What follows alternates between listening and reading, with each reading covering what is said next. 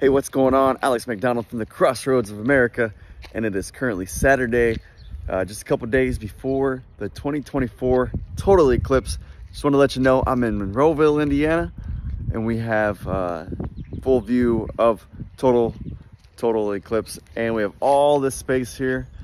And so, if you'd like to view the eclipse, it'll be Monday. I would suggest being here about 12:30, 1 o'clock.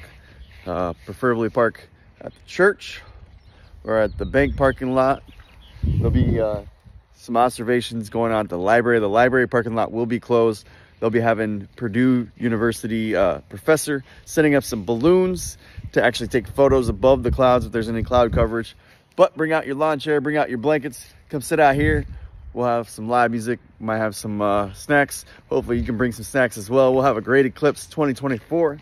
So we'll see you there. You guys are officially invited. Come to Monroeville, Indiana.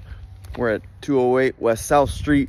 You can come to the back and enjoy seeing that great big ball of fire covered by a great big ball of rock. Um, total eclipse. We're really excited for it. Love you guys. See ya.